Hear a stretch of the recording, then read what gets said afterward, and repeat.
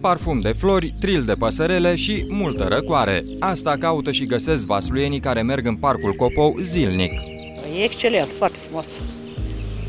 Aici cred că ar fi de mers în fiecare dimineață și seara. Plăcut. E răcoare, e... Plăcut din toate punctele de vedere.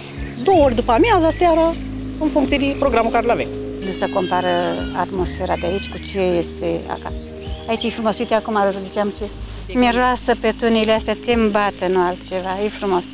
Și ies cu plăcere. Îmi place, sigur că îmi place. Și e curat, e frumos, e îngrijit parcul. Ar fi și păcat să nu, să nu te bucuri de el, da? Fiecare are dreptul să, mai lăsăm și pe alții, să vină toți să bucure de atmosfera de aici. E frumos în parc. Foarte frumos.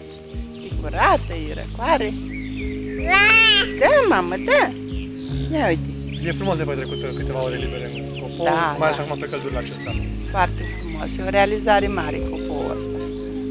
Că l-au făcut așa frumos. Mai ales pentru cei mici, pentru cei mai în vârstnici care au timp mai mult liber. Vă Vin adăpostiți de aici. căldură. Da, da. E bine.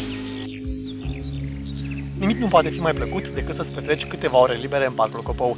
E aer curat, e liniște, dar mai ales e răcoare. Ca alternativă la parcul Copou, vasluienii pot merge să se relaxeze și în parcul de la Movas sau la Strand.